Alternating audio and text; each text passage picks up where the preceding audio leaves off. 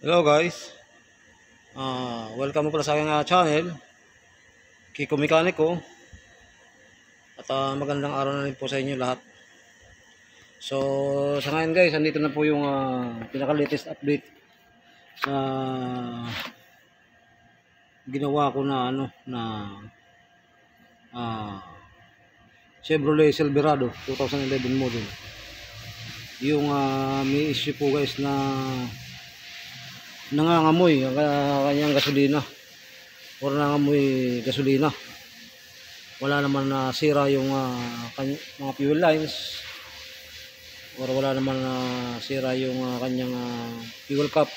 Or hindi na sira yung o-ring. So pag nakatigil yung sakyan gaso- gasolina parang na, pag na, naka-aircon, nangamig sila sa loob.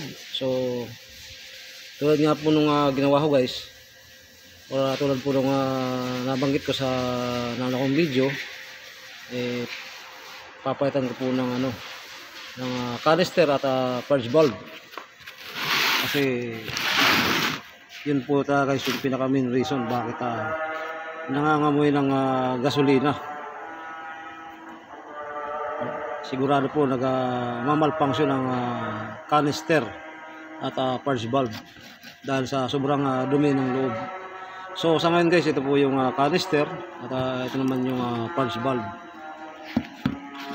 So ito yung tinatawag na component ng uh, evap- ev- evaporative ah, e- emission na system or evap system.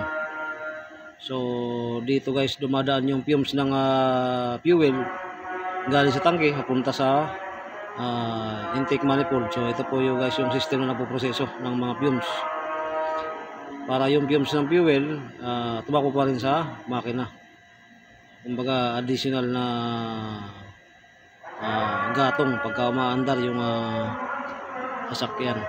So once guys na napuno ng ah, alikabok ito sa loob nito or buhangin sigurado po guys magmamalfunction yung evap system. Dahilan para kung saan saan lumabas yung ah, fumes ng ah, fuel. So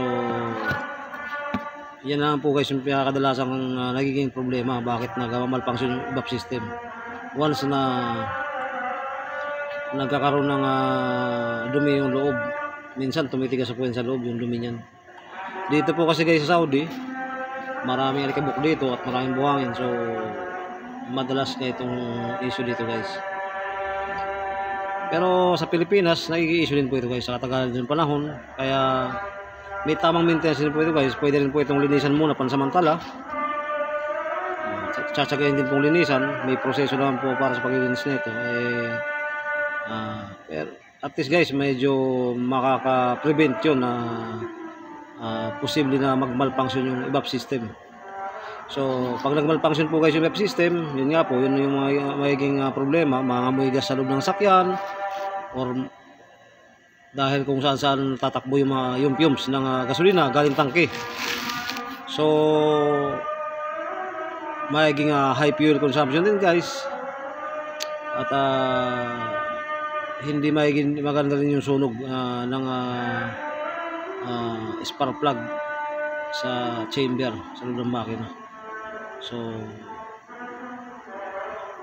kumbaga poor driving or ah, erratic driving yung magiging ah, resulta once na nagmalfunction yung evap system. So, napakahalaga po guys na ito na ah, kailangan may tamang maintenance po ito para manatiling ah, ah, hindi magiging ah, high fuel consumption yung ah, inyong mga sakyan or yung ating mga sakyan. So, yun po yung ah, kahalaga ng ah, evap system or canister or yung uh, purge valve. So, yung ah, ginawa ko nga po guys na Silverado na 2011 eh hindi ko na po na-videoan yung unit kasi nakuha na po ng may-ari. Pero ilang beses ko na po niroad test yun eh nawala na po yung ah, amoy ng gas pag nakatigil or yung pag nananakbo. So 100% po guys na nagawa ko yung pinaka problema niya. So Ah, sa ngayon guys, ah, sana po may naishare ako na konting kaalaman ah, tungkol sa ah, ganun trouble pagka nangamoy ng gasolina sa loob ng ah, sakyan, lalo na po naka-aircon or ah, pag nanakbo, lalo na wala naman pong ah, leak yung ah, fuel sa lines or fuel system. So, ito po guys yung pinaka problema. So, Siyempre po, pagka nangangamoy po ng gas sa loob ng sakyan, eh, unang-una po siyempre, visual checking po muna sa mga fuel lines or uh, sa fuel tank. Baka singaw yung gasket sa fuel pump or gasket sa fuel cap o yung pinaka-o-ring. So, visual checking po na. Sa pagtutroubleshoot po guys, medyo kailangan na medyo systematic po yung ating ah, sistema sa pagtutroubleshoot para hindi po tayo maligaw kung ano po yung ah, dapat gawin o hindi po tayo maligaw sa tamang proseso kailangan medyo systematic po so sa ngayon guys ah, sana po may naishare ako na konting kalaman ah, tungkol sa paggawa ng ah, sakyan lalo na po pag naka-encounter kayo ng uh, ganitong trouble sa mga kaibigan po natin na mekaniko dyan na gumagawa na sa sasakyan at sa mga nag-aaral po ng automotive eh, malaking bagay po ito.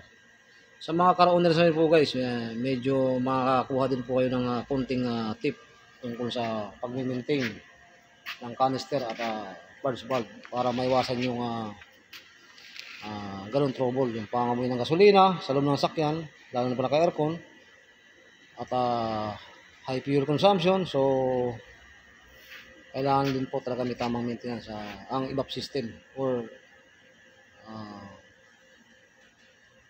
yung ah, canister o yung flash valve. So, sa ngayon guys, ah, hanggang dito lang po muna yung aking ah, video. Sana po ah, paki-subscribe niyo na po yung aking ah, channel, Kiko Mekaniko. At ah, pakipindot na rin po yung ah, notification bell para every time po na mag-upload ako ng ah, bagong videos tungkol sa paggawa ng sakyan, eh medyo makapag ah, may share din po sa inyo or maka, ah, ma-update din po kayo. So hanggang dito na muna, muna yung ah, video guys. Maraming salamat po. God bless.